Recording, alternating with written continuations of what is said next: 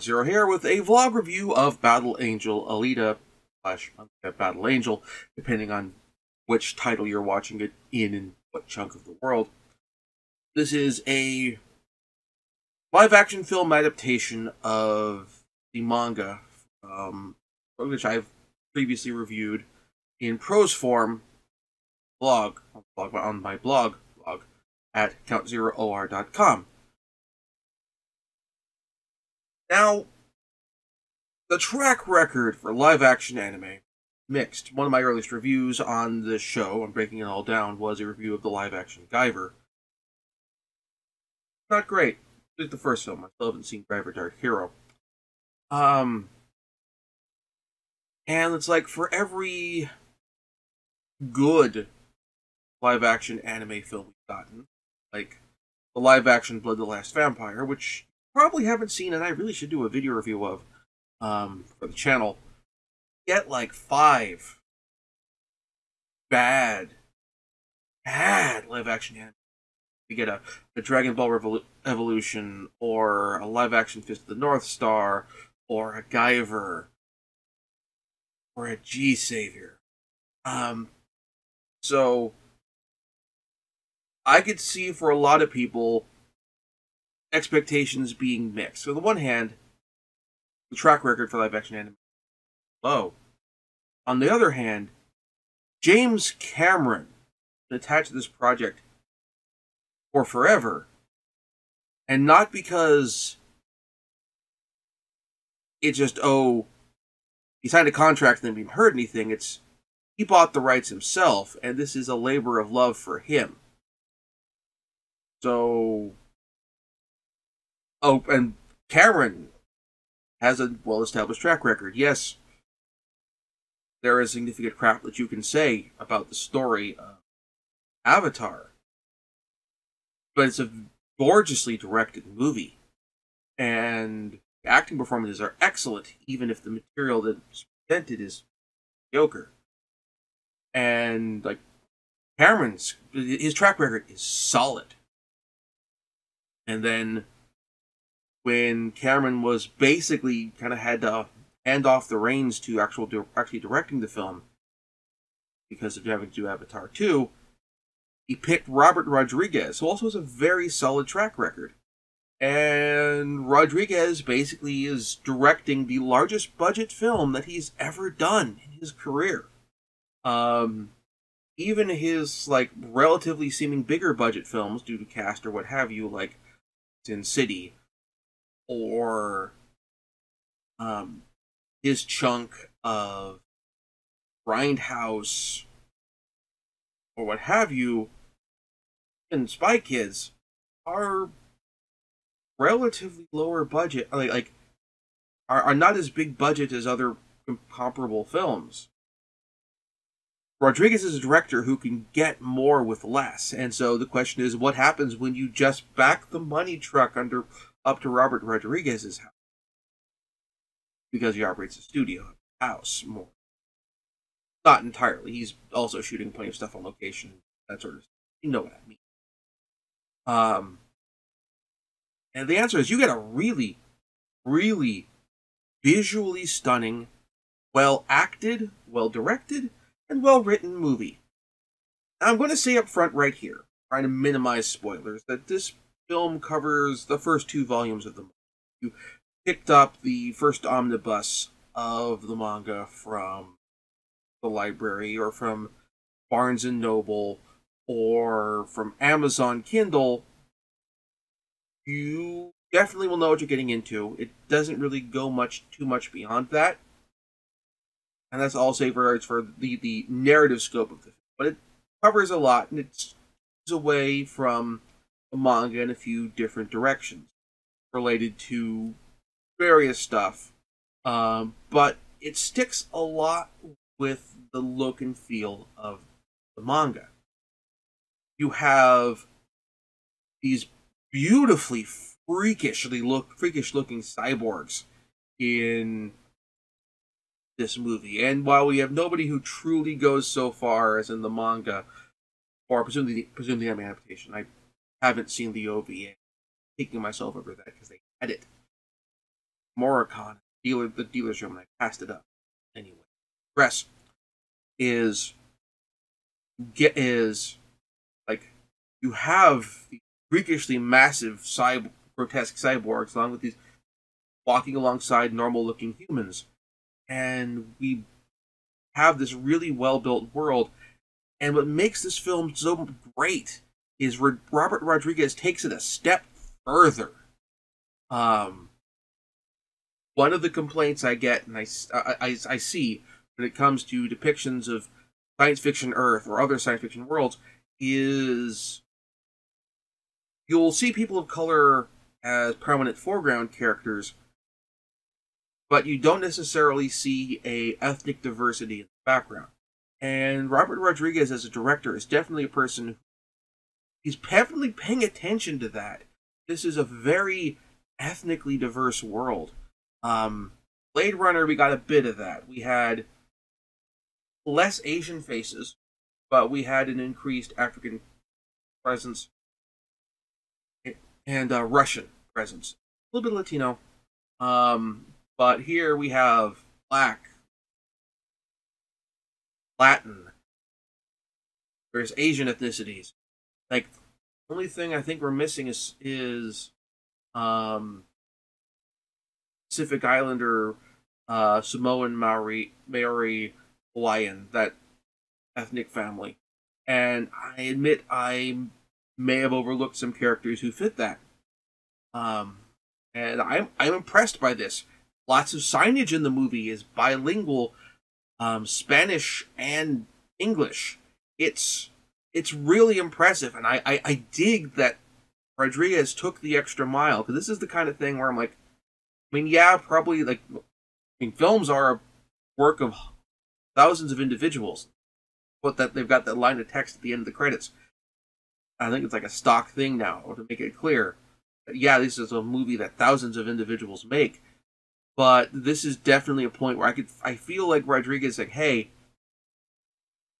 we're casting extras. Don't just get white people. Get lots of people of different of different ethnicities. And the set designers, hey, don't just put the signs in English, put them in other languages. And probably also check the languages as well. Uh, check, the translations and make sure that they fit. Um, that's that, that is pretty awesome. Um, this is definitely a film that is building up to larger, to more things. Like, it's not wrapping here, but honestly, Battle Angel Alita manga, there's never really like I'm. I, I've read the whole first manga, and I'm starting Last Order and I've yet to reach a point where I'm like, okay, this is a stopping place. Like a straight up cut, everything's tied up aside from a few points. We can move on, stopping place. Maybe at the end of the Motorball arc, but that's a lot of material to cover in one film. You, you do a six hour miniseries, okay, or four hour miniseries or what have you, okay, sure.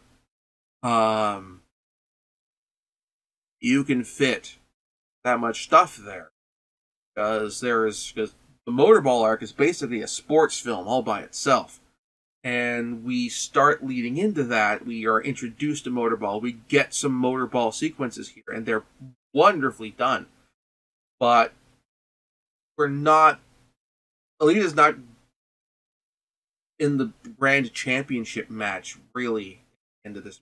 I will just say this up front. Like we're we're we're leading up to like it's clear the next film is Motorball arc. A full Motorball arc or something similar. And we have motivations for why. Um set up in this this movie. If you read the manga, you know what that means. If you haven't read the manga, that's okay.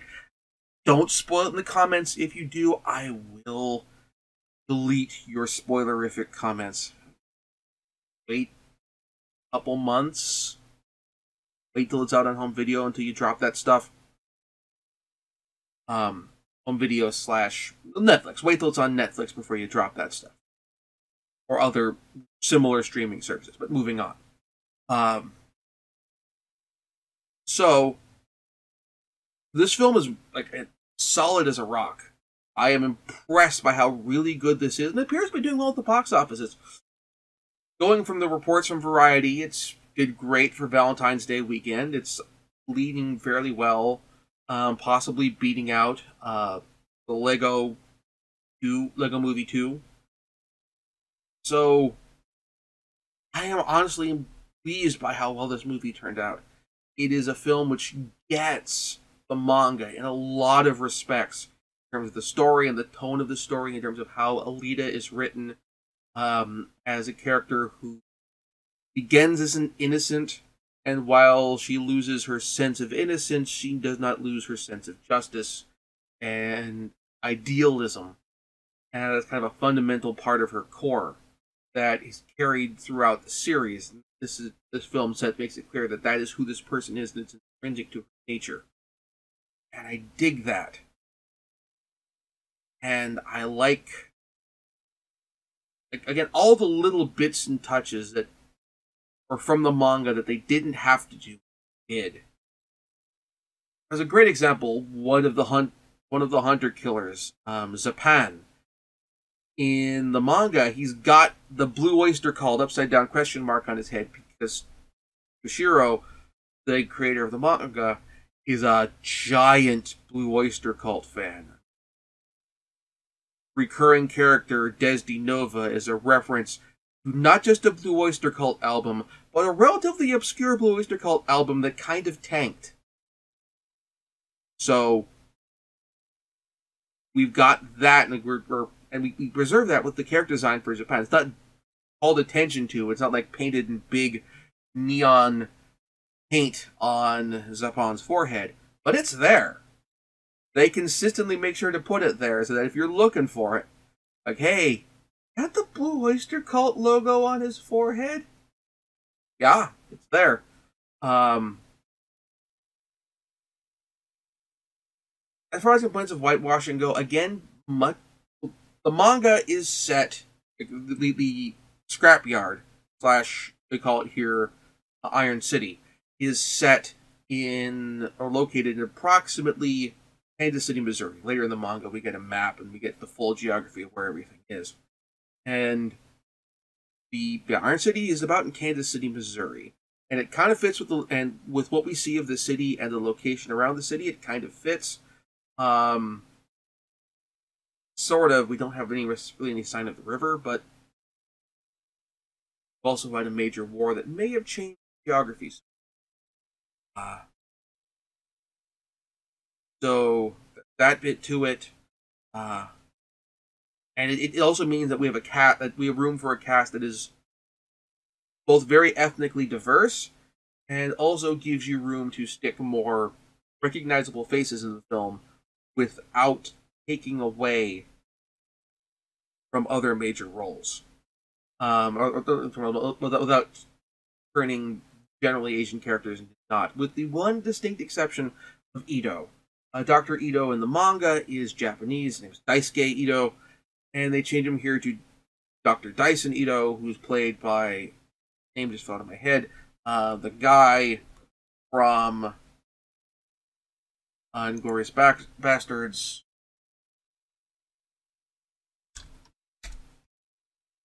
um, Christoph Waltz, who is honestly very, very good in the role. I've, in Inglourious Basterds, he is fantastic and sinister and just wonderfully evil there.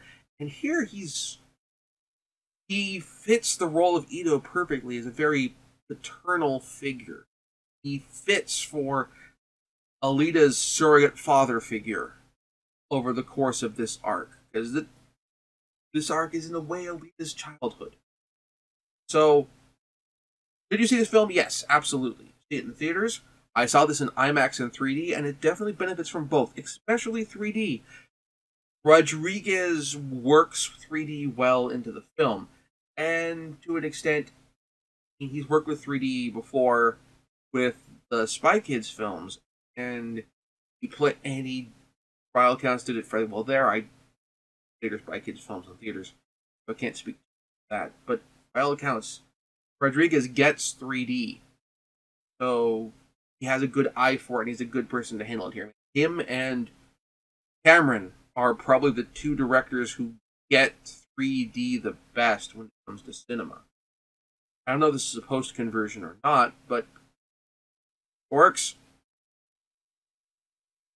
So, that's my thoughts on the film. Next week will be next episode Nintendo Power Perspectives, and the week following will be sliding back into anime related territory with a review of the next Legend of the Galactic Heroes novel. Be somewhat vlogish this time because there's not as much backstory to cover. Catch you later.